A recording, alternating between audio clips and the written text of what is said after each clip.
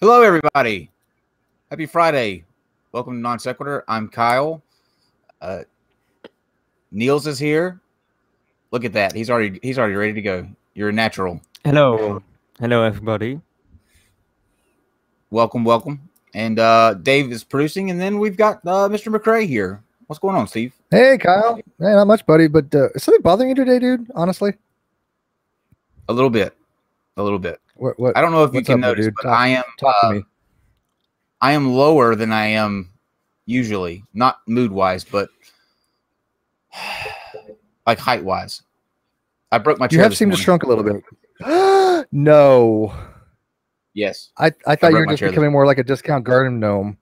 That's all. No, I'm literally. I quit. I quit. sorry, sorry, sorry, sorry. Now You do look like you do look like you're smaller. I will admit, I can actually see that you've kind of shrunk down a I little bit. I'm sitting on. I'm sitting on the Yeah. fucking floor.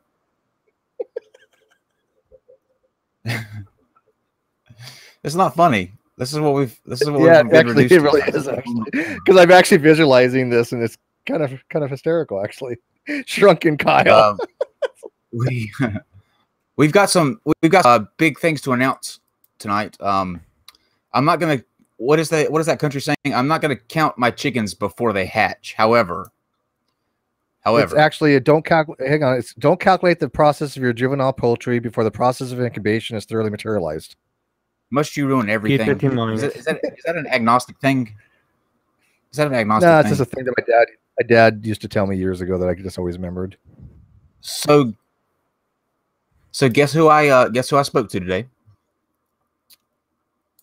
Me? Well, I don't have to guess. I know the answer. Do you want them to guess? I did speak. to I know Steve, but come on, guess who I spoke to today, Steve? Um, Come on, I come throw on, out random guesses. It wasn't Jesus, right? It was not Jesus, but close. The Somebody next who believes in Jesus. Jesus that, that that somebody who actually Right. believes that Jesus and dinosaurs live together contemporarily. Right? Yes. Okay. Yes. Okay. Um, getting there. And if you were this person, Um, you would build a theme park devoted to dinosaurs. Kent, Kent, Kent the man Hovind. I did indeed. It is possible that you, the listening audience, will get round two of Kent Hovind and Aron Ra. Now, like I said, I am not going to count my chickens before they hatch. However, um, he said sure today and he listed out his demands. I countered those demands and uh, we'll see if he accepts those. But he is You know how many people you just got excited? he is at least at the table. le- I know I was erect good. the entire yeah. I was a, I was erect the entire time. So I didn't tell him that, of course. I don't know how he'd feel about that. But anyways, so yes, uh, if uh, if you are among the listening audience that prays, then um, tell Jesus that we need a part two and see if he can, you know, nudge his faithful servant Kent Hovind to uh, come back to the table. But uh, it looks promising. That's what I'm going to say right now. So let's get into what we've got coming up for the week now. And we begin with uh, Monday. We will have the Epic of Gilgamesh. That's going to be with Dr. Bowen and um, Megan from Digital Hammurabi. They're going to be with us to go through the Epic of Gilgamesh. On Tuesday, we will be uh, talking with, well, we won't be talking with Sai, but uh, Raul from Street Knowledge will. And um, they're going to have, a, he's going to get street epistemology or as he calls it, retreat epistemology. Um, try it on him. We'll see how that works out. I don't know if it will end up like it did the other day. I hope not. Nonetheless, we will keep our fingers crossed for a really good show, as always. Okay, and then on Wednesday, uh, Hugo and Jake from the Bible Reloaded will be with us. We will be going through the Jonah and the whale story, kind of like a Bible study. So make sure you join us for that. On uh, Thursday, we will be talking about transvestigations, which, uh, if you don't know what that is, please Google it. You will uh, laugh your ass off for for weeks, probably. But um, Armor Skeptic will be with us to uh, kind of go through that a little bit in depth. And then on Friday, Parallax Nick will be with us to talk about the evidence for Planet Nine. He did a really good series on his um, YouTube channel, which is Parallax Nick, formerly known as Parallaxicality. How you like that, Steve? He doesn't like that. Par, par, apparently. par, paradoxal. Par, par, par, what? Ha, I, I say a word that you can't now. Ha ha. Parallaxicality. Parallaxicality. Actually, I can't say it, but uh, Parallax But so, um, parallaxicality. Yes, I, I can actually say So, it. supercalifragilisticexpialidocious. All right, so that's Friday at 8 p.m. And then let's move on to, I believe, the next big announcement that we have. Yes, October the 16th. David Pakman from the David Pakman Show will be joining us, and we're going to have a discussion on the death penalty. And uh, so you don't want to miss that. That's a really exciting thing for us to have David Pakman. Um, really glad that he's coming on. So look for that October the 16th. Yeah, that's gonna be a good episode. Then tomorrow, tomorrow is the uh, on August the 25th of 2012. Hitchens' last book, Mortality, was published. Tomorrow, you can join us and several of your other favorite atheist content creators for a special salute to one of the classiest and most effective debaters religion has ever faced. We're going to do that tomorrow at 4 p.m. So uh, join us for that. That'll be a real special salute to Christopher Hitchens. And then uh, MythCon, September the 22nd. Get your tickets. You can get your tickets here as well. We will be um, letting actually Niles choose his favorite uh, super chat tonight that is put through um, at the end of the show. So if you put through a super chat, Niles will be looking at those at the end, and whichever one he likes the best, will, like we did the other day, will be the winner. And you can go to MythCon for free. So if you would like to do that, please stick around for the end of the show, and uh, we will pick a winner towards the end. And then, of course, you can find us on iTunes, Spotify, Google, iHeartRadio, TuneIn, Stitcher, Ham Radio, two cans with string in the middle, all of that stuff. Anywhere you are, we are. How you like that? Isn't life grand? Awesome. Awesome. Okay. Any last words, Steve, before we hand it over to the Mo? No, man, let's uh, let's dive right into this. I know he's got a lot to talk about here, so He does. So um, I'm going to hand it over to Niles to introduce himself and then let us know what we're going to be talking about tonight. Well, good good good night, uh, everybody, and audience, and uh, and the hosts. First, I'd like to thank the Non Sequitur panel for having me on here, and giving me my this or, um, opportunity to share the information I have been uh, gathering. I would like to thank uh, Team Skeptic for bringing my collection uh, to their attention. I would uh, like to thank all the people that helped me with um, my project because this isn't just me but it are it is the work of a lot of people that uh, each put their help into this so first i would like to thank chuck for reading the tapes using the um, resources of his uh, data recovery company and using his expertise and experience to decode these tapes. I would like to thank uh, Paul for uh, processing my Apollo 14 scans into a um, complete photo.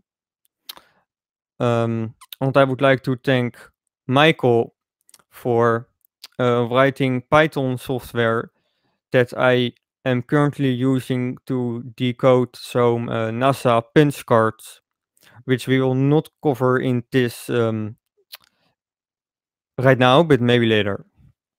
So, all right. First, we are going to talk about uh, some NASA computer tapes. So let's get let's go back to the uh, 60s. NASA was uh, working on uh, the Gemini program, of making preparations to work on the Apollo Apollo program because they had to show Russia that they were boss by putting a man on the moon before the end of the decade. And for this, they needed a lot of computing power. And the computers that were used by NASA and contractors were supplied by IBM. So what you see right now on the screen is one of the IBM 360 systems that was supplied to NASA to compute all the simulations, orbital calculations, and to process the Apollo telemetry. Um, what you see often, um, you see a lot of people working together at mission control and launch control behind rows of computer screens.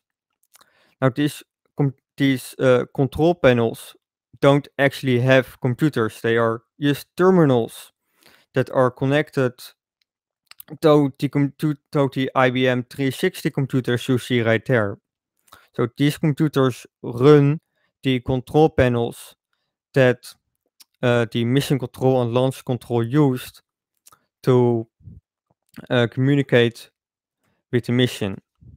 So can we switch to the um, next photo, tape two? Thank you. So of course these computers used uh, tapes to store and uh, process information. Here you see one computer tape that was used by General Electric. And this particular tape was sent to the Marshall Space Flight Center. If you would like to zoom in on the red label on the right, I can give you some detail details. If you can zoom in, Give me one the- second. Get- Thank wanna- you. You want to do the red There we- label on the right? on the far right, yes.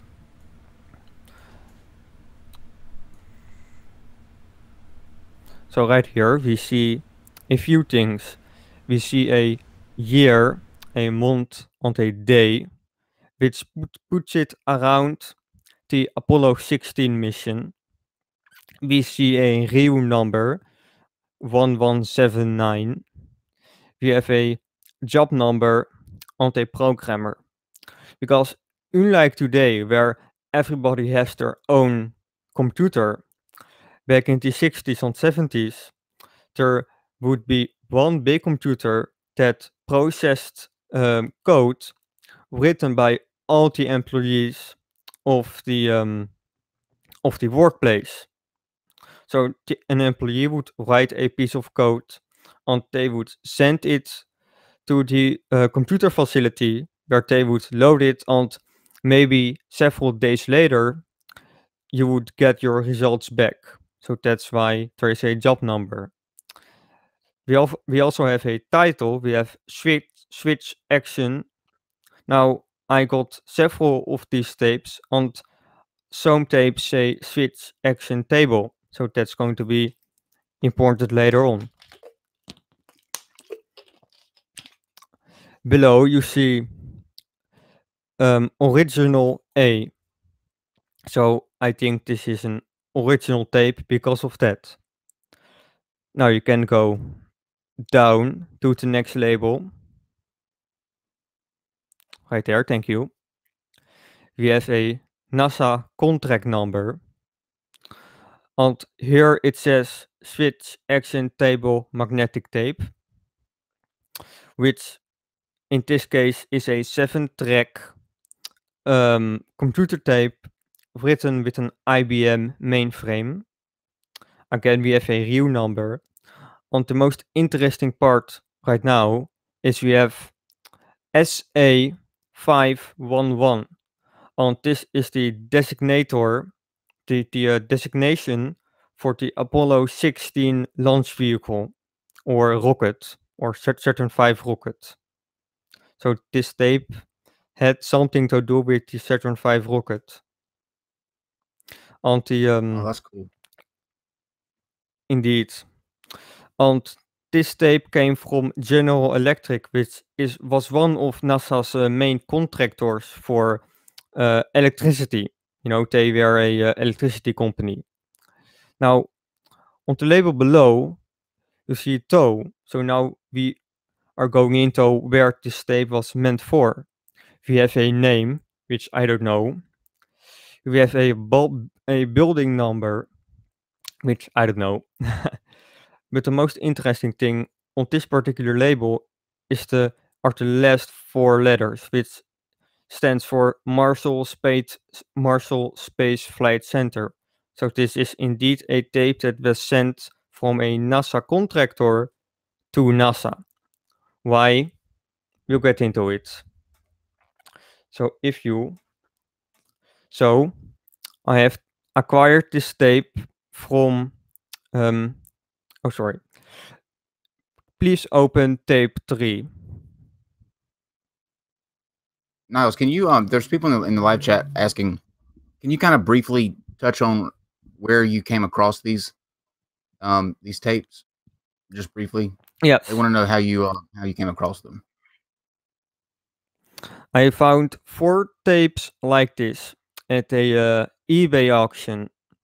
Each of them sold for about eighty dollars. Um, in total, I think the seller sold about eight of them, and I got four. So, of course, at the time, I didn't know if we would be able to read it at all. Um, so it was a gamble, really. But I I took it, and I think it really paid off. Does that answer uh, everybody's question? Yeah, and and what was the story that you were telling me about the um the the engineer that they found like a box of his stuff in the basement or something like that? Um, That's is that a uh, different tape? Yes, a different batch of uh, tapes, completely unrelated to uh, this one. Got it. Okay, that answers Okay. it. Thank you. So the the data is stored on a um, mag- magnetic uh, coding, and if you use a magnetic viewing solution, you are able to actually see the individual tracks on the tape. Now this um, this is from one of my tapes, but not 1179, but one of my older NASA tapes. And this uh, reel in particular had, uh, sorry, has nine tracks, so you can count them. But if you go to tape four, we will get an even higher magnification. So we can really dive into how the data was stored.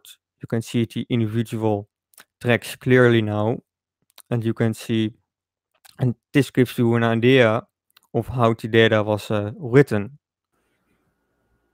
Right there. Now, what was this actually am sorting? Was this, was, was, yeah, I was, it's like this patterns. What is it actually encoding? Is it is, is it like assembly language, or is it going to be like a binary type thing?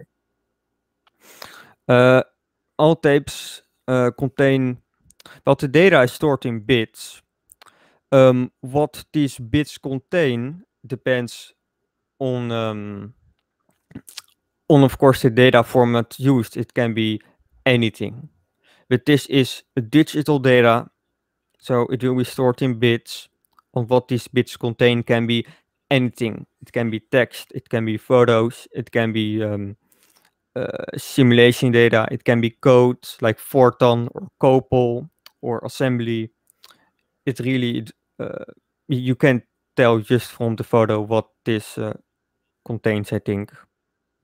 And from what year is this?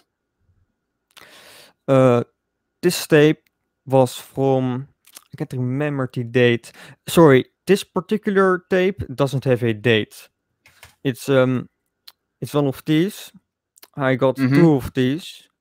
One of th- one of them is at America, is at America, where they are uh, digitized, and one of them is right Mhm. here. There is no, well, there are actually two What labels. decade? Can we go like is it 60s, 70s? uh, 60s, 70s. The interesting thing is that there are actually two labels on this tape. Uh, the most recent one, which was put over the older one, doesn't have any date. But the older reel, sorry, the older label says um, 1968 on the sixth month on the second day, or uh, I'm not. Well, yeah, let's go with that. So 1968. Got it. Oh, okay. Cool. So, can you open tape five, please? Is it possible you can? Excellent, thank you. We've prepared for this, but don't worry. Now then, so I've acquired these tapes from eBay, but I myself have no means to, to read them because you need very specialized equipment. So I got contacted by somebody with an uh, with a data recovery company that uh, was really interested to help me with my project and try and get these tape di- digitized. So I had them sent. So I had these tapes sent off to him. But we can't just put them in here and get photos or text. There are several things we have to do first. The first thing is, and one problem with many tapes, is that the material that binds the um how do you call it? The tape the magnetic uh, coating to the uh, base is uh, hydroscopic so it over the decades it takes up moisture uh, sorry moisture and becomes sticky. It becomes like a paste if you were to plate this tape without some um, some precautions, it would destroy itself on the contents. It could even destroy a tape machine because everything gets clogged. It basically it becomes like Nutella paste. So, believe it or not, this tape has to be baked for several hours to even a week in an oven. Now, don't worry, it's only at about 60 degrees or 70 degrees. So we can uh, rem- remove the moisture from the binding material so it becomes dry again. So it's baked in an oven for one hour, for several hours to a week. So we get it back into a playable condition.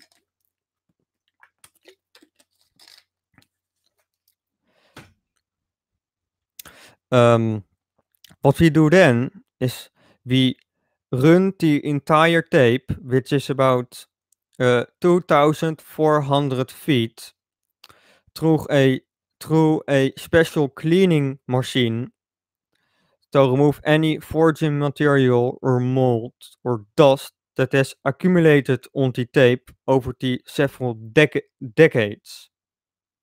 And then finally, once it's properly cleaned and has been prepared to be read in the first time in 50 years something, it gets put in this seven track uh, Hewlett Packard tape machine. So you can zoom in if you want to uh, show the audience some of the uh, tape mechanism. So you can see the tape has, has been wound through, through the tape mechanism onto the take-up reel.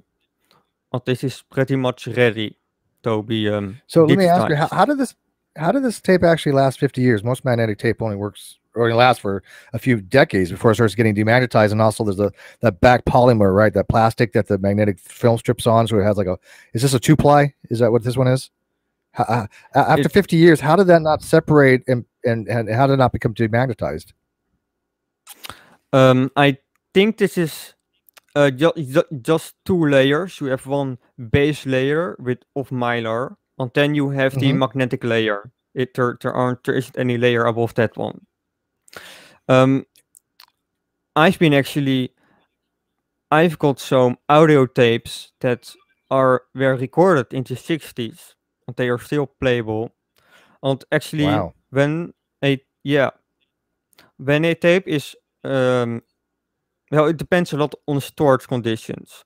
Uh, most tapes like to be stored in uh, conditions humans like, so a moderate temperature, moderate humidity, uh, humidity, and uh, a dark place. If you like dark places. And the Febreze plug-in. Sorry.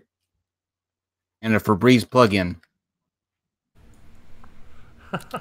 I don't was- follow. It's, it's it was a, it was a bad joke. It was a bad joke. It was a joke. bad joke, Yeah. but um, I Just also like humans.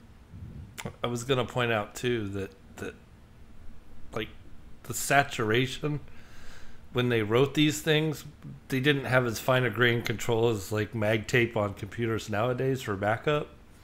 So they would last a lot longer because they were literally writing at full saturation.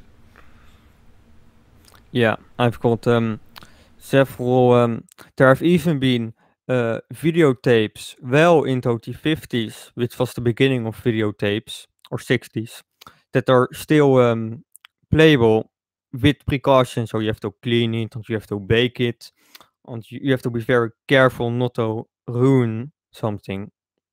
But it, is possible, yes. Okay, so does that does that answer your question? Thank you. I think so. too. Yeah, yeah, yeah. Thanks. hmm I'm just muted because I got my Okay. hair on, so that's why I'm muting in between, so we don't get the background noise. Okay, I'll get him in the microphone then.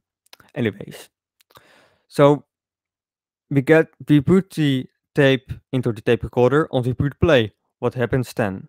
Well, we get the raw binary data of the tape and it gets saved um, in a format that is wi- that is um, widely used by computer museums museums and by uh, simulation programs. And it is the SIMH MAG tape format, which is kind of comparable to an ISO image of a CD or a DVD, if you've ever used it. It's basically a one to one copy of a computer, um, of a CD or a DVD or Blu ray for that matter. So you can properly copy everything. So the benefit of this format is that it keeps the format, it keeps the formatting of the tape um, even in a mo- modern digital file. So you can, if you want, you could load this disk file in an emulator, connect an IBM uh, tape drive to it, and copy this tape file onto another tape but make a one-to-one copy of the original tape you see right here. Um, so we save the raw binary data for um, archival purposes. But this particular batch of tapes um, contains uh, text, contains uh, characters written in an IBM format. So we are so Chuck, the guy that is reading this tape for me, these tapes for me, is able to um, decode the uh, is able to convert this IBM character format into ASCII. And ASCII is basically used by Linux, Mac, Windows, DOS, uh, disk operating system is basically used by every modern computer. So we were able to convert this mainframe data into something we can read with modern computers. And we will get to that right now. So open tape 6, please.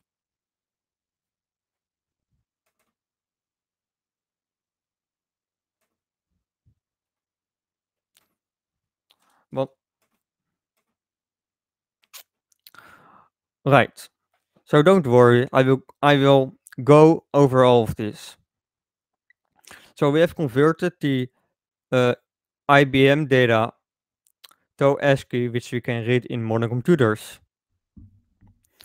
Um, there, this tape holds about two megabytes of data. It holds several tens of thousands of lines of text. You are only seeing seeing a small uh, a small fragment of the entire tape. So how about we go to the top of the um, of the file? The top, thank you. So the these are just select parts that I think is uh, interesting. First, we have the very beginning of the tape. You can see on the left it says block 3 on block 4. So this is the very beginning of the tape. The beginning would be block 0. We have a revision, we have revision, we have a revision, and then we have a date. So it's interesting that there have apparently been several revisions of this text uh, data over the course of several months.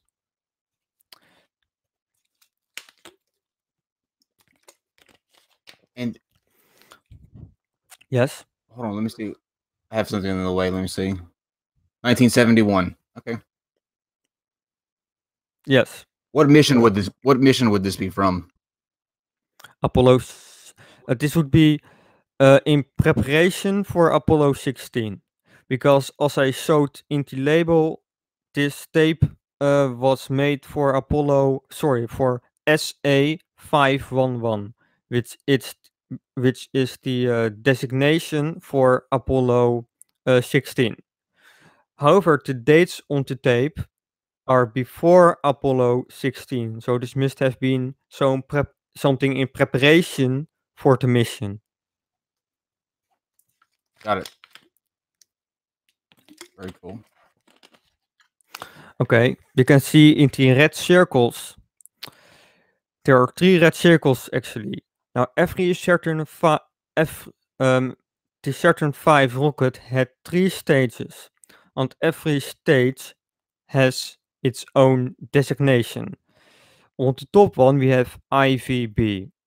The second circle says SII, and the third, but not least circle says SIC which are the names for the three different Saturn V stages. So now we can logically conclude this has something to do with the Saturn V, and we will see these four, these three stages return in um, as we go along. So if we go to the um, the yellow circles, we see LOX, which um, is a commonly used term in aerospace engineering for um, for oxygen, which is of course a very important component component in the Saturn V engine or any engine for that matter, because there is no uh, oxygen in space. It needs to be supplied uh, artificially. Then we have SII spare, um, I'm not sure why it just says spare. Um, it does. You see this every once in a while. Maybe it was used as a placeholder. Um, if they ever wanted to add something, they could just replace it with something. I don't know. You see a purple rectangle, which says the IU, which is the instrument unit used in the Saturn V. The Saturn V had its own nervous system and its own computer system. It could operate completely on its own if required. And the IU was basically the computer system of the Saturn V unit. Uh, Saturn V rocket. You see auto checkout something something. Really interesting stuff. Below it, we have a yellow rectangle which says nav, which means navigation. We see L, uh, how do you pronounce it? LVDC, which stands for the Launch Vehicle Digital Computer, which basically is the name for the computer used on the Saturn V rocket, the Launch Vehicle Digital Computer. What's interesting about this is that you see memory sort disable, on 10 below it, right next to each other, you see memory halt release. So it's interesting how we get this information for a component used in Saturn V. Below it, you see another um, green rectangle. It says SII LOX vent valve 1 open, and below it it says closed. And you see something along the same lines in the blue rectangle it says OK, which is a status indicator. And below it it says low, which is another status indicator. So this boils down this boils down to what the hell does all of this jargon mean? Well, from this point on, it is all speculation. I have not sent an email to NASA yet for them to look into archive if they can find something like this.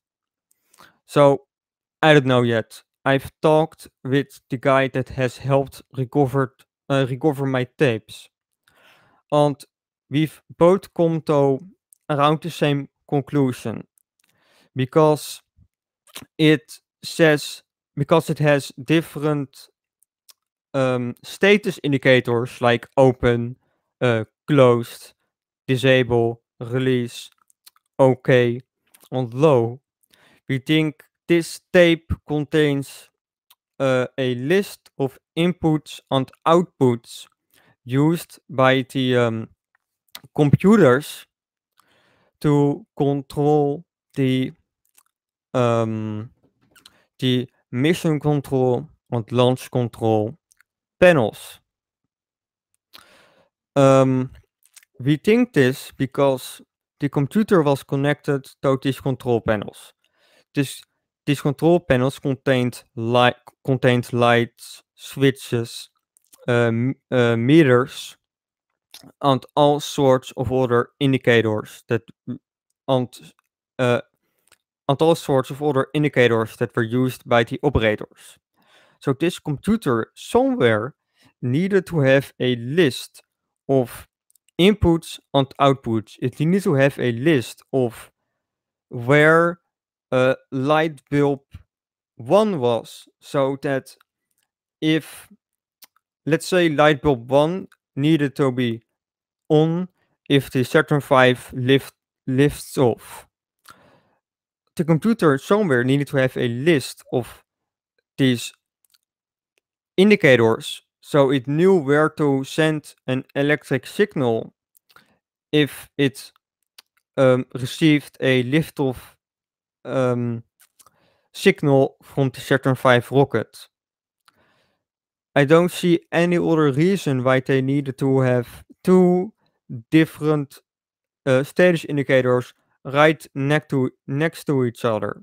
So, for example, on the um, on the big uh, green rectangle, you have LOX vent valve. So this would be a an oxygen valve for the SII stage.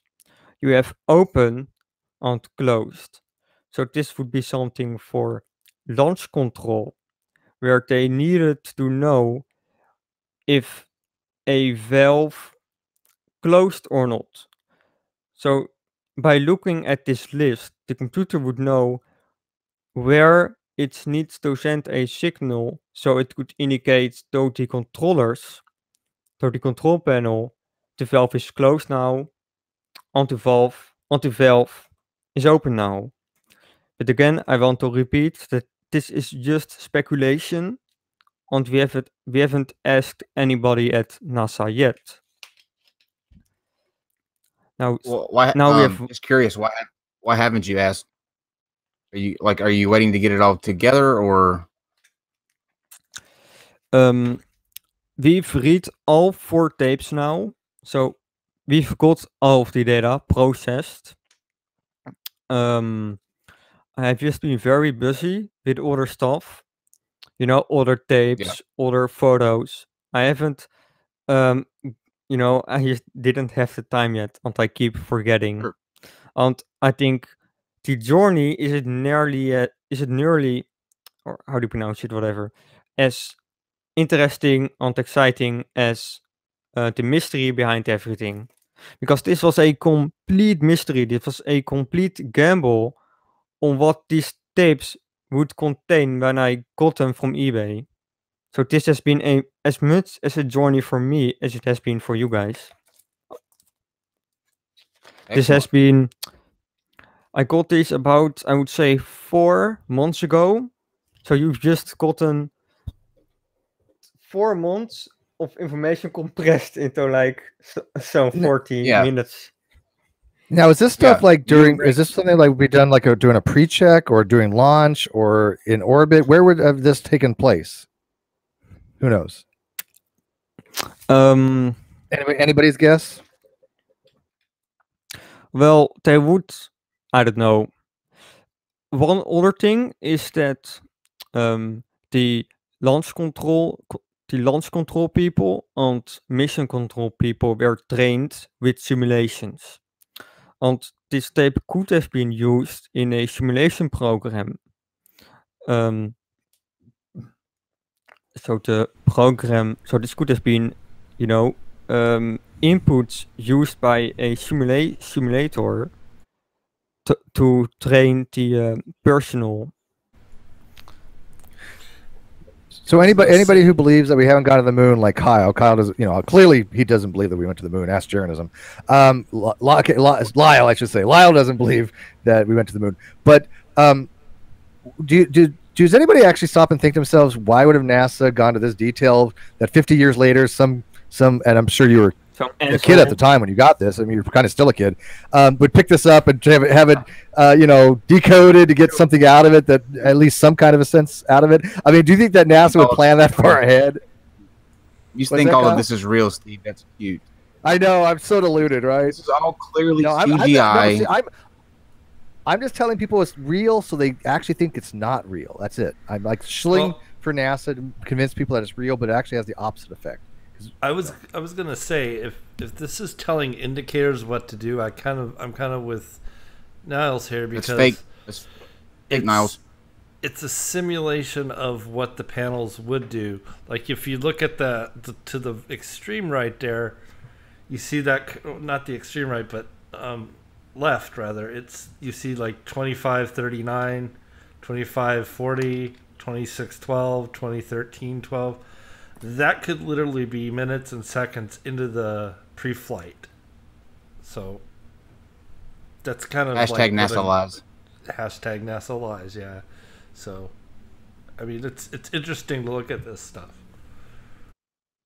Exactly. So, just to give everybody an idea of how much is on this tape, can you open the uh, tape 1179 uh, data file and just scroll through everything? Now, uh, Niles, we're gonna go. We're gonna go through this this text document line by line, correct? I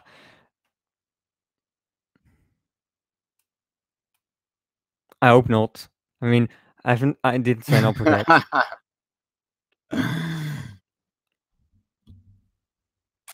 So this tape is from from Apollo 16. I've got three more tapes, which are from uh, the Skylab missions. I think Skylab 2, uh, 3, and 4. I'm not exactly sure. That's crazy. You can. You, yeah, it's all it's weird stuff. On CMR, I'm not sure what that means.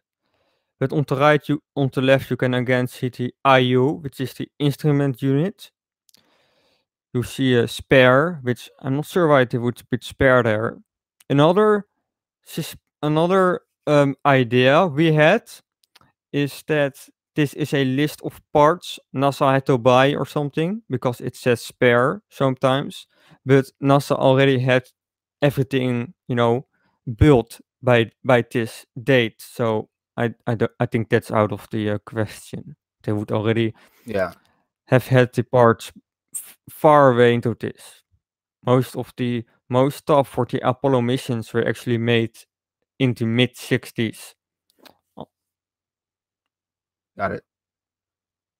So you can go down all the way so you can see how many lines there are. Of course, we have to remove some of it because there are spaces in between each line. And the block part is the uh, format. I don't think that's actually on the tape.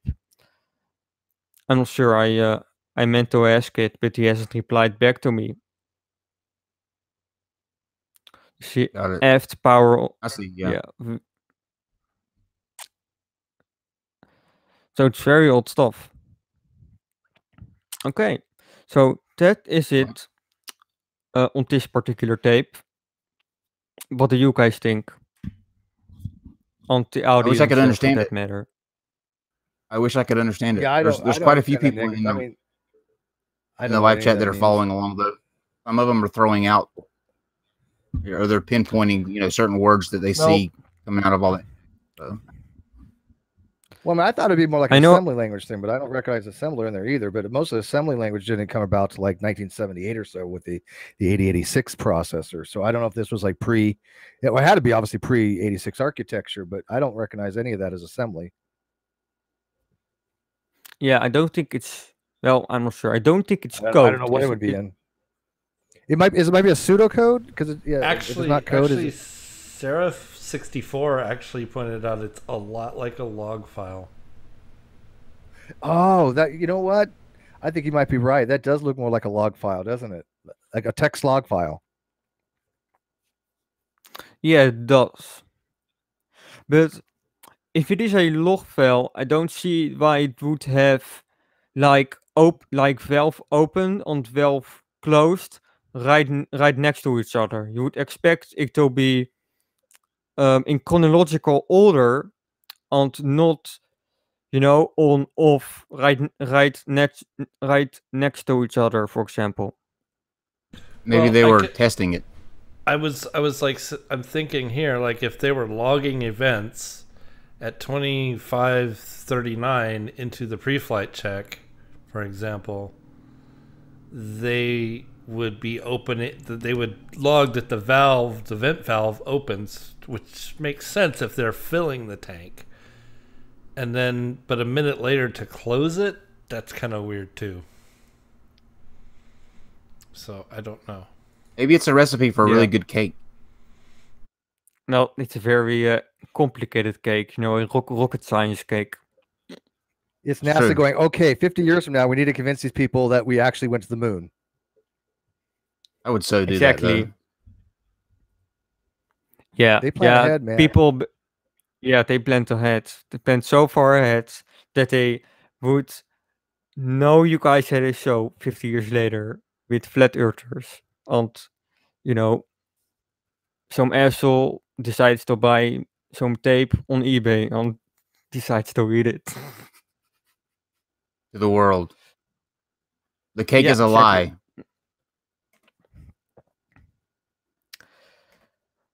Okay, Cake so is- the cake is a lie. I found that out. That is true. So that is um, about. That is I about is- Go ahead. So that is about it for this tape. Are there any uh, recurring questions from the audience that I could answer before we maybe go on to the next uh, piece? None so far. Nope. They all seem to be keeping up pretty well. Okay then. They're going between log file and analog file right now. Oh yeah, and I forgot to say that all of the data that is recovered is provided in uh, raw data and process data at my uh, archive.org link. You can see it down below in the description. In the description, and here you can download all the tapes. Uh, this one and many other and many others I've recovered. And you can check this file out for yourself if you are crazy like uh, like me. And if you have any information on this tape, what it was used for, you can just email me. I would be happy to, um, you know, learn more about this. Or Maybe get my lazy ass off uh, to send an email to NASA about this. I'll set you a reminder.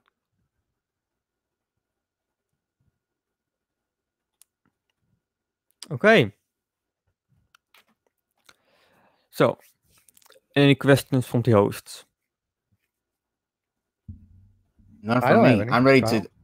I, I I can't. I'm excited about all of these pictures and stuff that you have. Yeah. So, how about we jump from tapes to photos? So, yes. let's open the Apollo 14 photo.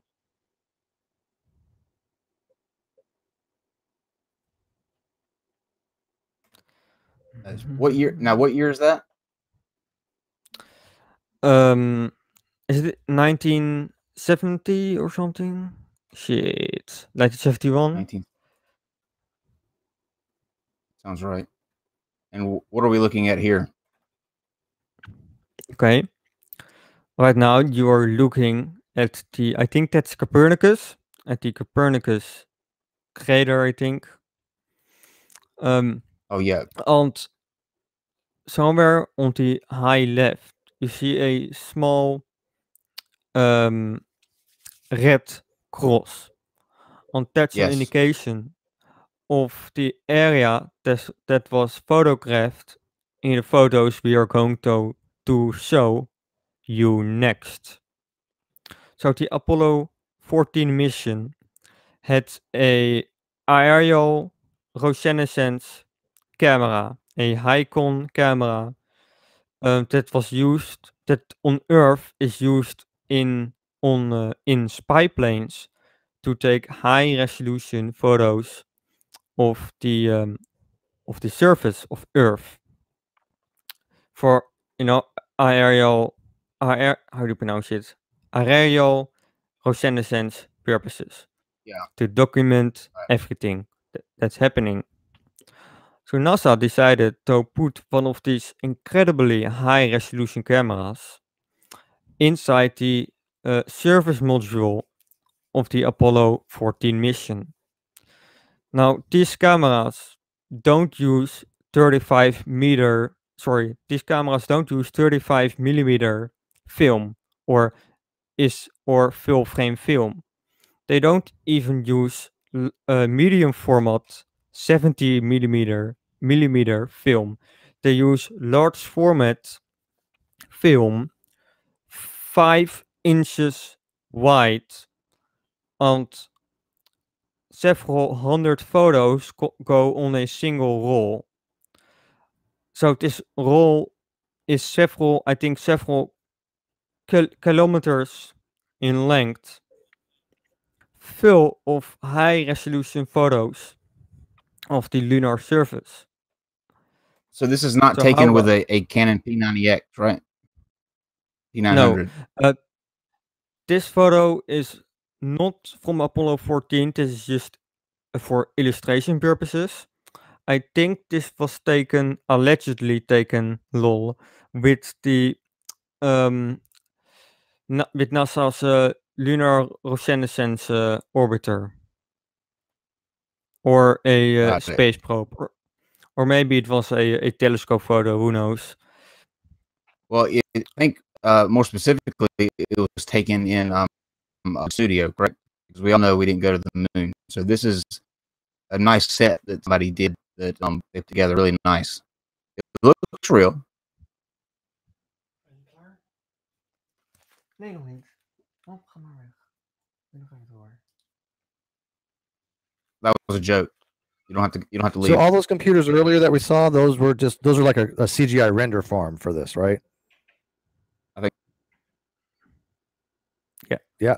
Whatever. Uh, I think. I, Yep. I don't think you can tell if we're joking or not. We're we're, we're totally joking, Miles. Go to the moon. I know The moon is real. How do you It's know? not wait, no, it's it is a hologram, isn't it? No, it's not a hologram.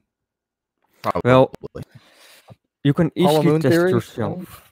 You can, and radio amateurs do this all the time. They bounce radio waves of the lu- of the moon, and they bounce back. But and they take about two and a half seconds to bounce back. So if you take the speed of light or or the speed of for electromechanic, sorry, and if you take the speed for electro um, waves, so, um, how do you call it? Electromagnetic waves. No, how do you call it again? Yeah. Whatever. Right. And you co- calculate how long it would take if the Earth Moon distance was correct, it would take that long. So we can verify with the speed of with the speed of how um, fast waves travel, you can verify uh, how far the moon is away. Anyway, that's another topic which is really awesome. Earth, moon, Earth communication. Search it up. So can yeah, you Reds did open a really good the- example of that in a video. Yeah, really, um, it's about the best thing we have next to putting an actual, um, you know, leader from Earth to the moon. You know what flat earthers so flat earthers sometimes say? No, you can't put a a measuring leader from Earth to the moon. So how do you know the distance? Earth, moon, Earth communication, bitch.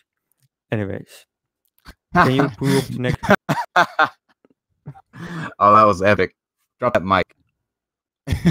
I do- Well done. Okay.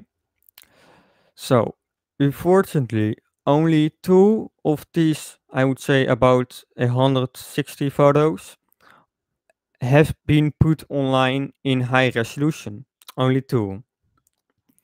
Um, they are available on the uh, National Archives. So, a lot of these high resolution photos from Apollo 14 are missing from the internet, which is really unfortunate. And also sometimes used by conspiracy guys to claim that NASA is hiding these images from you.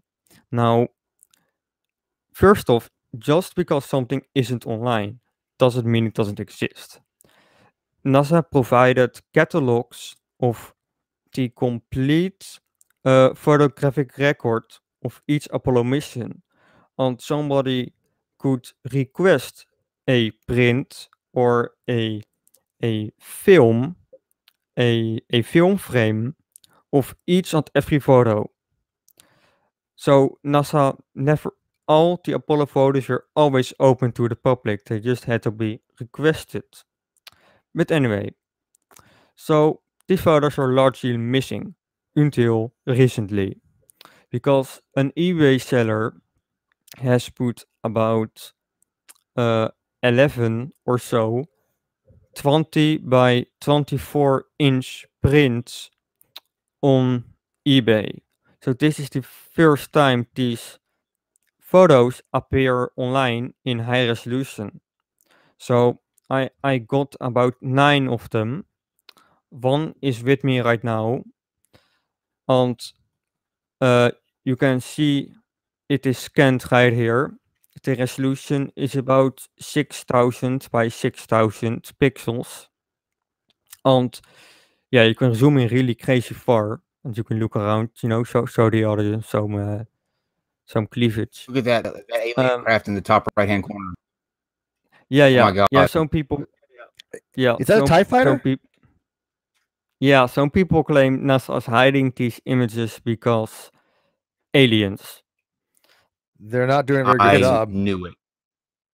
Yeah, well, If again, you know, the moon, everybody could request these images. So, so I've acquired these high, these huge prints, 20 by 24 inches, and I've used my uh, flatbed scanner, a an Epson Perfection V750 Pro, which is a professional scanner, six hundred dollars.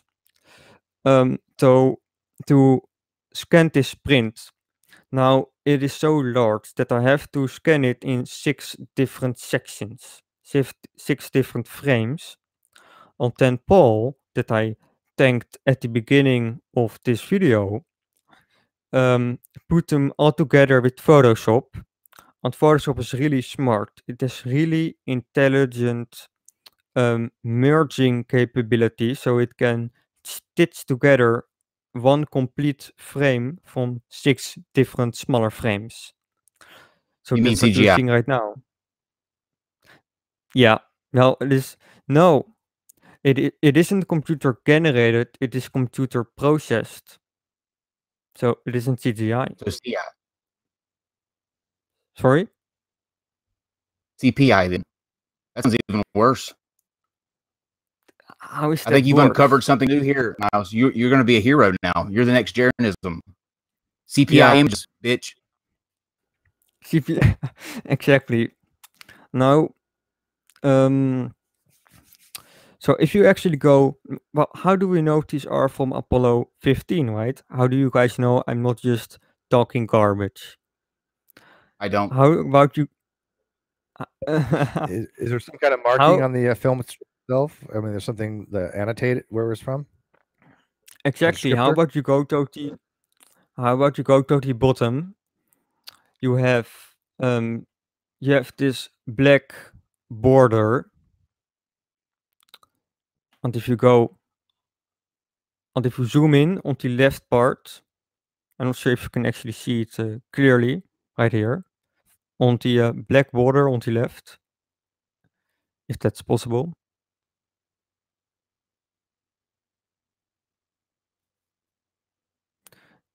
I'm not sure if you can see that. It says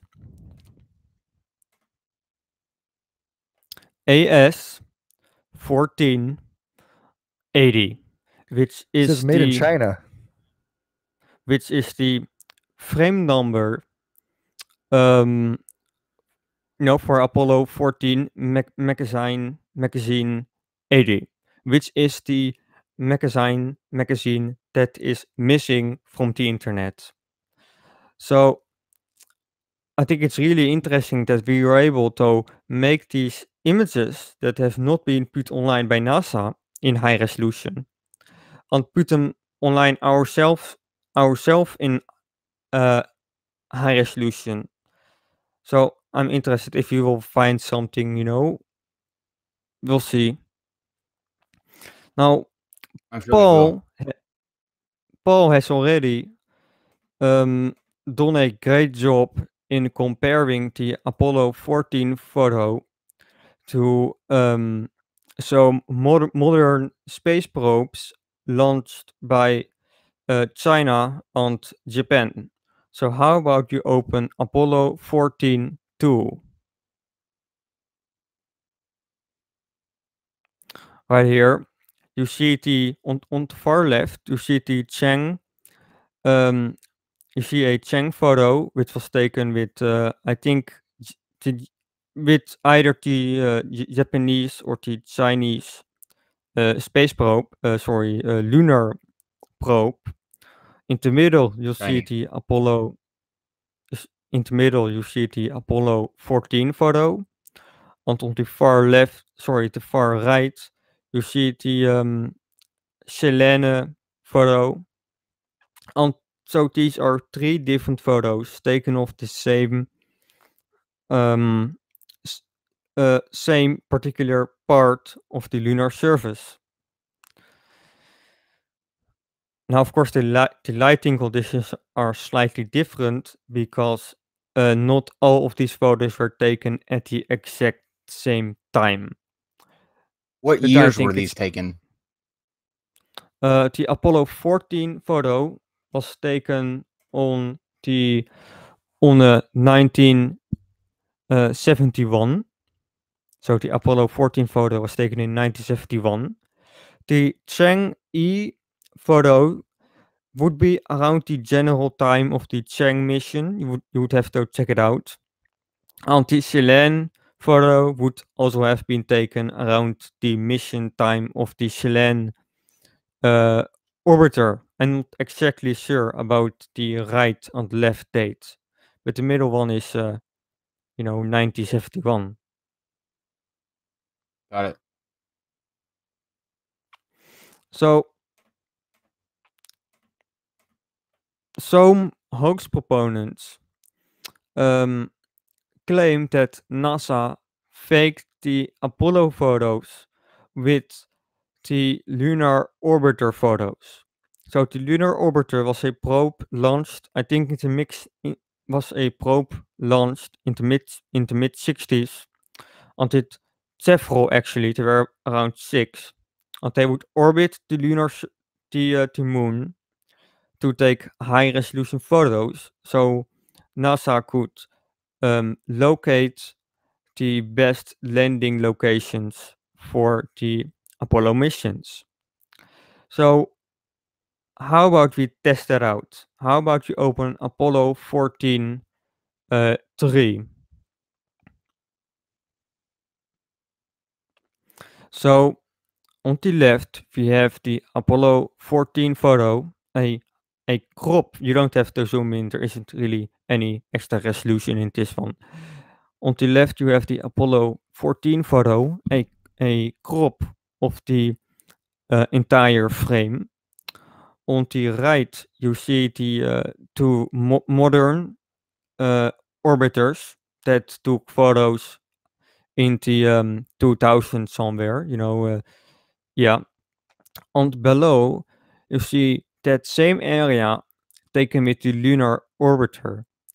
Now, it doesn't take a genius to figure out that if NASA faked the Apollo photos with lunar orbiter image data, that they would not have known the resolution required to match up to the um, modern orbiters because you can you can't define any of the features within the lunar orbiter um, photo. Any questions? Mm, None so far. Uh, Steve, do you see any? No, I'm just having it's it's kind of weird because I'm looking at it here and I'm trying to like look it over here and it's like high it, good high definition over here, but here it's all blurry. So I'm trying to like see the details on here for what's what's what. But this was a uh, this was from the lunar actually from the lunar orbiter though. The the bottom one, yes. Okay. It is um how do you say this? Yeah, yeah, basically. So you can see a comparison of the resolution the lunar orbiter has compared to the same area with the Apollo photo and the uh, modern lunar orbiters or mo modern uh, orbiters. No, that's pretty cool actually. Yeah.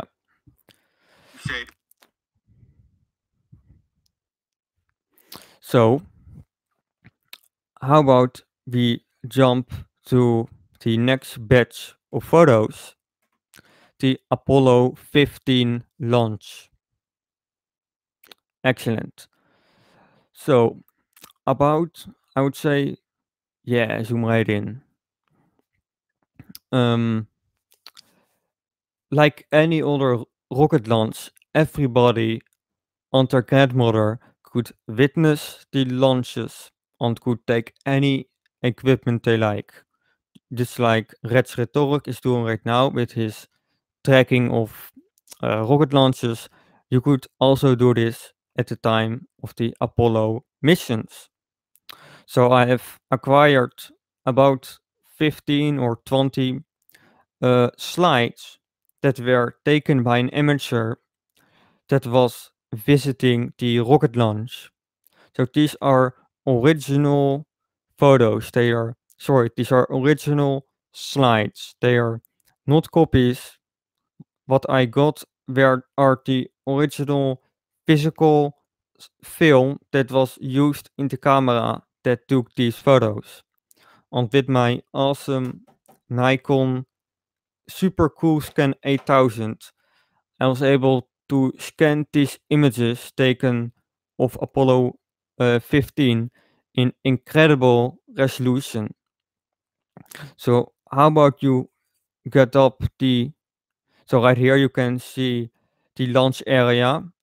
On the left you see the launch umbilical tower.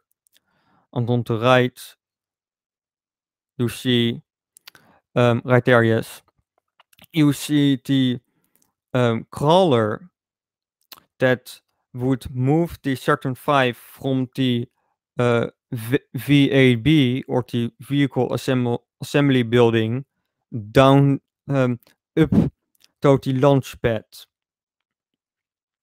So can you go to the second Apollo 15 photo? this one, in this one, this is just the rocket on site the launch pad.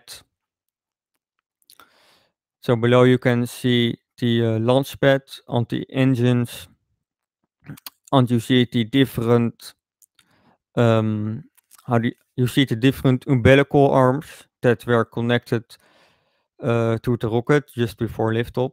Liftoff. And at the very Mhm. top, and at the very top, you see the um, service module and command module. So this is of course where the astronauts would go into. You can zoom in really far and see um, the bridge that the astronauts would walk over.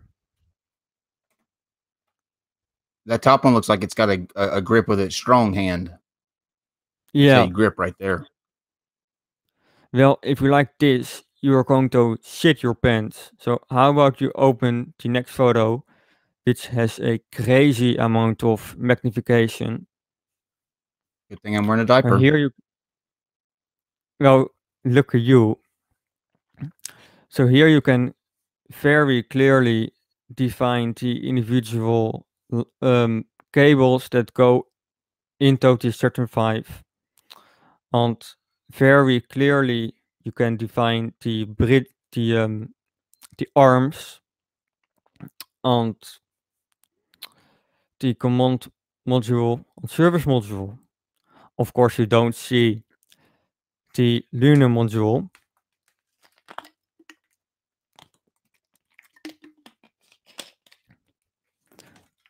Because it is inside the fairings. So y- and you can see the RCS thrusters, thrusters on the left, middle, and right of the um, service module. And this is of course how they would man- maneuver it around.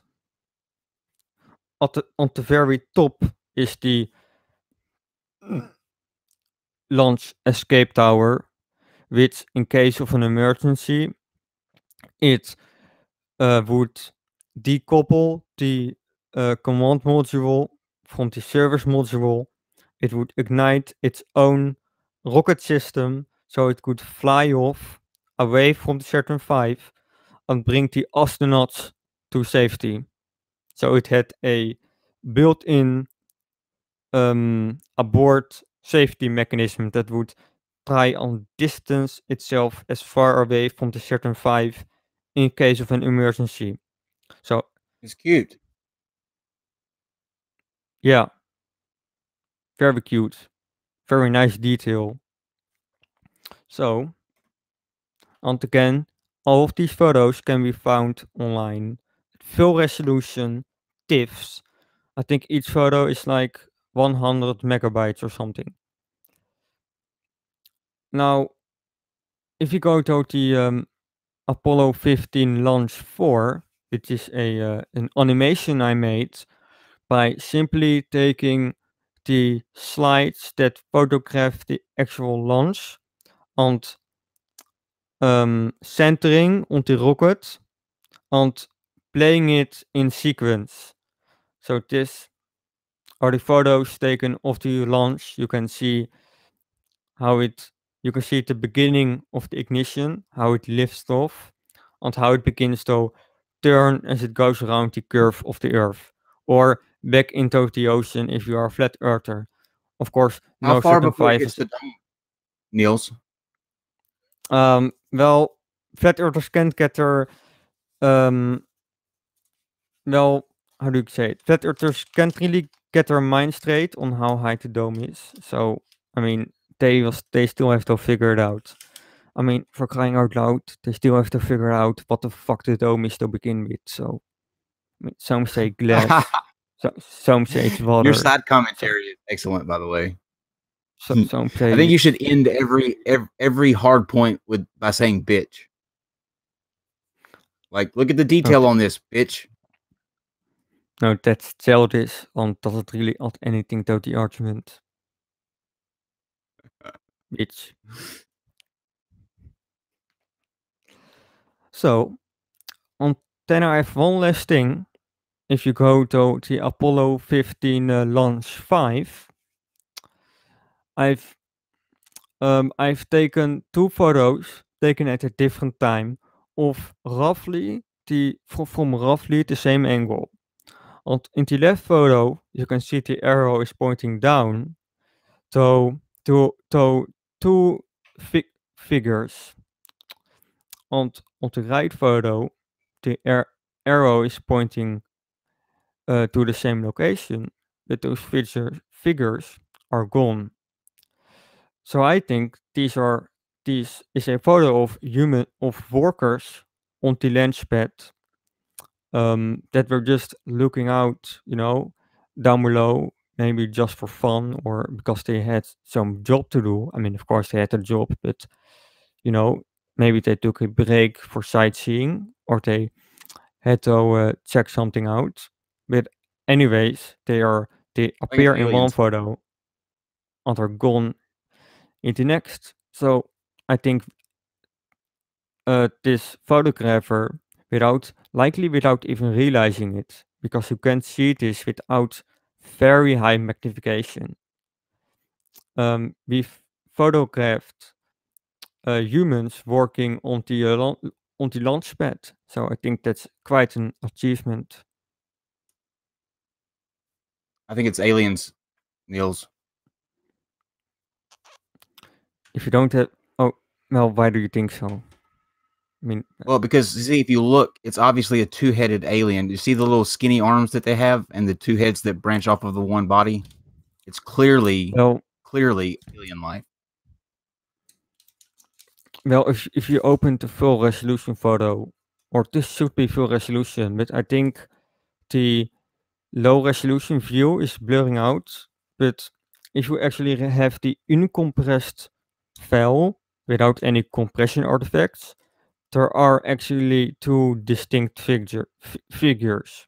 Maybe if you really if you zoom in very far, you will you will- be able to see this much better. So yeah, it's Oh, well that's definitely doesn't. Yeah, that's definitely an alien. look at I still Steve. think What do you think? I, I, I, it's, it's is that two people holding hands him. or dancing or having sex? I don't know what I'm looking It at here. Definitely not having sex. That's that's not a um. What is Is- this? is- is it Nineteen seventies rocket porn? People people had sex in 1970. I don't think they did. on top of, on top Maybe of not, rocket don't know. platforms. Hey, that'd Yeah, be the way to do it, ain't it? Though. Red Rocket. It's just a stream, guys. I think it's just a stream. No, fucking not. uh, you're the man. You're the man, Niles. I like you. I like- Okay, so how much time do we have left? Uh, we have. yeah. Uh, we're at seven twenty, so uh, around ten minutes before we switch over to asking questions from the audience if they have any. Um, well, I yeah, I guess if you could go over to um the com- back to the computer tapes and open the uh, Pioneer 11 uh, tape, so we can fi- finish off on something I am still working on. That would be uh, cool. Steve, While you're doing that, real quick, now, uh, Steve, I see a lot of people in the live chat clarifying that it's two people standing at a handrail. Um, That's what I think it is too. yeah, I think that's what we all think it is. I I wonder if they think I was serious that it's a two-headed alien. You, w- you, You never know, serious? right? Possibilities. You know, there have been maybe reports of, a, of these alien. Word Ra- of the well, hang on, these alien races. Every time we, every time we've like launched an ICBM in testing, or every time we did a nuclear test, or anytime we went to the moon, aliens are checking us out, right? I mean, making sure that we don't get too big for our bridges, right? So you never know. You never know. Okay. So, the tape you currently see is one of the about six or something Pioneer 11 tapes that I've acquired uh, from eBay. Now, I actually know the story behind this one. Uh, it was um, there is this person in his 80s that has a lot of old electronics, a lot of old computers, and he also has these old tapes. Um, and he decided to have them sold off to uh, you know get some extra money. So that's how they got uh, online. Maybe he was some kind some kind of collector. I don't know. Uh, the interesting thing about this is that several of these tapes are from the uh, University of Arizona. And the University of Arizona worked on the uh, camera on the Pioneer 11 uh, probe. Um, now this particular tape came from NASA, but some other tapes say they came from the they came from the University of Arizona. Um, so judging by the labels on the other tapes, these tapes contain um, the digital photos taken with the Pioneer 11 probe. Uh, I've looked, uh, we have been able to dig digitize some of these. Some of them were unreadable, unfortunately. They were uh, wiped at some point, or uh, the tracks are too faint, too faint to be able to read them. But some are still good for the most part. We do get a read error here and there, but it's still uh, doable. And I've Excellent. looked at the uh, ASCII data on this tape, and everything I've seen so far points to these tapes containing the uh, digital photos taken on the um, on the Pioneer 11 probe. So the Pioneer 11 probe would transmit it its photos digitally, and these tapes may contain that data.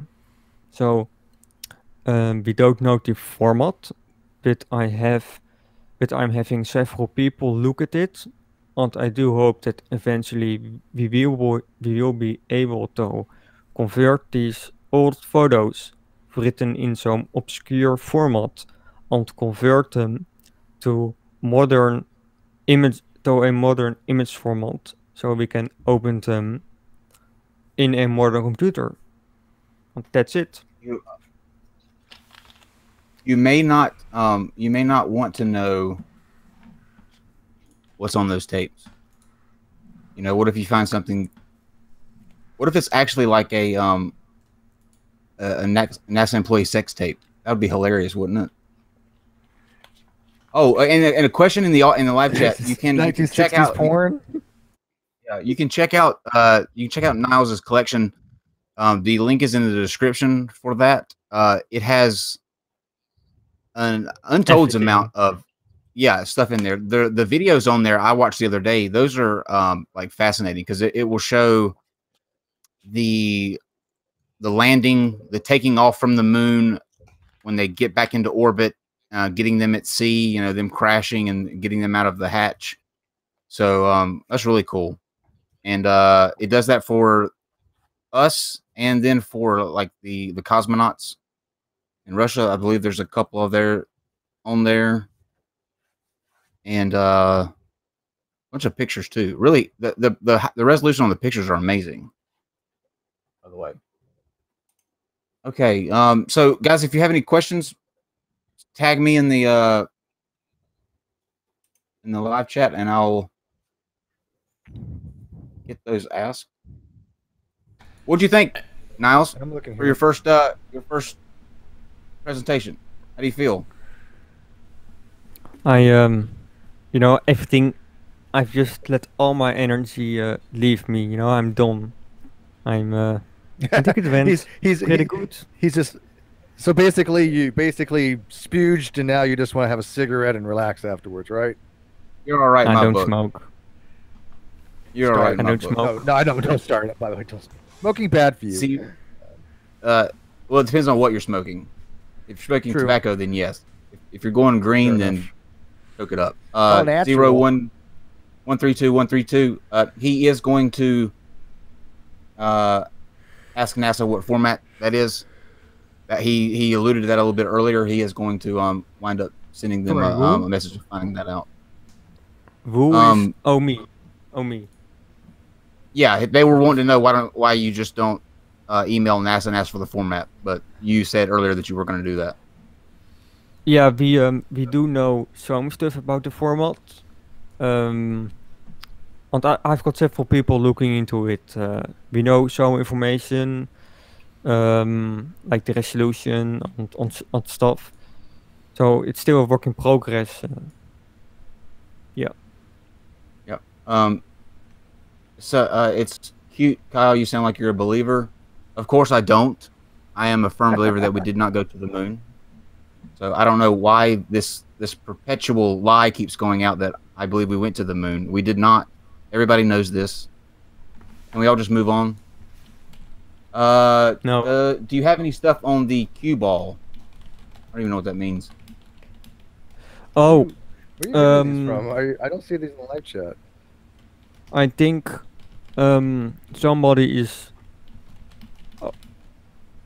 Um, was that someone from the audience that asked about the cue ball? Yeah, that was Puffaluffagus. Yeah. Puff did Daddy, as I call him. Yeah, I I know what he's talking about. He's talking about the uh, one tape one one seven nine. Uh, on several occasions, in in the text information, it talks about the cue ball. Um, I think the cue ball was the um, gyroscope setup used the Saturn V. Um, so the cue ball would, would be a giant ball that basically was that basically contained all the gyroscopes used so the Saturn V could know its um how do you call it its tilt and azimuth and um and all the good stuff. So I think that's what the cue ball uh, was. Cool. Uh, looks like one more. Uh, I guess this is. I don't know if this is rhetorical or whatever, but it says just as Niles has software items, do other collectors have NASA hardware? I guess to be able to read it. Um, Like, can you buy the stuff to read it? You can, well, you don't need NASA recorders, you just need a tape recorder of the correct format. This tape has 9 tracks, so you would need to get a 9 track data recorder. Now you can get them on, on eBay, just search for 7 track computer or 9 track computer or 9 track tape machine, whatever. And you will get some results. Um, but you can't do anything with just recorder. You need the uh, experience, you need the expertise, you need the software to use it, you need very special computers to use it, old computers to use it. But you can get the recorders on eBay. Now, for NASA hot hardware, yes, there are lots of collectors who have NASA hardware. This can range from a a bolt used on a rocket to um, to um, a RCS thruster to a um, computer used on the Apollo missions to parts used on the Apollo missions. There is there is lots of Apollo hardware and NASA hardware in co- private collections and of course at museums. Museums. Okay. All right. Um, Steve, you see anything else that I'm missing? No, I'm, I'm, I'm. There's a lot of things going by in this uh, live chat, but I'm not really seeing any questions. Come on, people, gotta have some questions, right? Lot to take Anybody? in. Yeah, it's only lot. Did you have something before? Because I didn't um, see it come up, but on the before it was this thing on assembler. Because we were talking about assembler. Was did you have something that actually was based upon a similar that you had found, or is that just something we were talking about that came up uh, during the the pre part of this before we went on air? Uh, no, but I have found some Fortran codes, Fortran code Fortran. in NASA pun- Fortran, sorry, code in NASA punch cards. Nice. I am Uh, actually yeah, I used to have uh, boxes of those. Yeah, the, the uh, those IBM Fortran cards. I used to have a box of those. yeah. Can can I share my screen? Uh, I'm not sure. Let me read this super chat real quick, and then you can try. Uh, Dave will have to let you know about that. But uh, it says, "Thanks for the most exciting episode I've been a part of." I have too many tabs open. Not sure where that last part came in, but uh, thank you, So, Uh, Lycan. why can't there ever be like a John Smith? So Lycan. Yeah. So Lycan, can you change your name to John Smith? Thanks. Yeah. So about Okay, the uh, punch can he share his screen, Dave? Uh, I don't think you can share it over vCall. Um, you can send me a That's a good point. screenshot or I don't think you can. Niles. yeah, or send Um, me the thing you want me to show. uh, sure, where, where to? And then, Yeah, just and then here's a question know. while you're doing that, and I don't know if you you can answer this if you want to. And the reason I haven't answered it, or I haven't asked it so far, is because some people might not want to go there. I don't know if he does, so it's not that I've been ignoring your question since you've posted it like nine thousand times. But they, what is your what is your day job, Niles? And you can answer that if you want to. Some people want to keep their privacy. Massive shill, massive shill. I'm an uh, electrician. Electrician. Okay, Electrician. Exactly. Cool. There you go. Where, where can I send the uh, file to? To. Uh, do it to that same email address, Bullinator. Okay.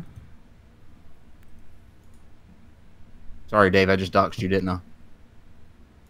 Oh oh yeah. Uh, I don't think I don't think it's a big secret that Are you sure? email addresses. It's just an email address.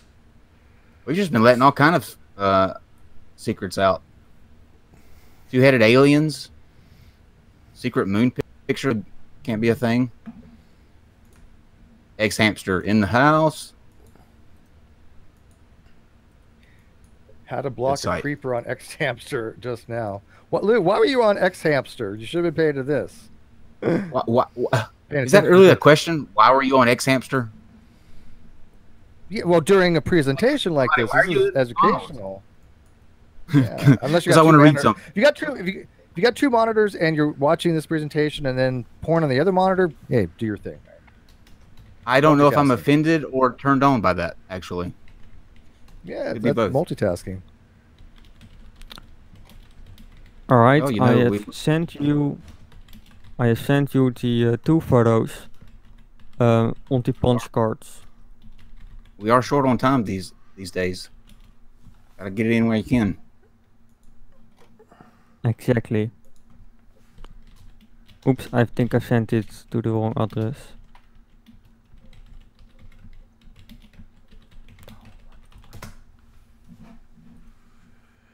Yeah, I didn't get anything, so Oops. unfortunately we don't have a screen share. I wish we did. Um, I think VMix is Yeah. working on that. Do you want to? Uh, do you want to save? I'll save that for the um.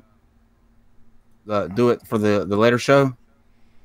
That way we can make sure we get it over there because we are pushing up on the. uh Well, we're way Sure. past the ninety You minute mean, mark. the, you mean the after show?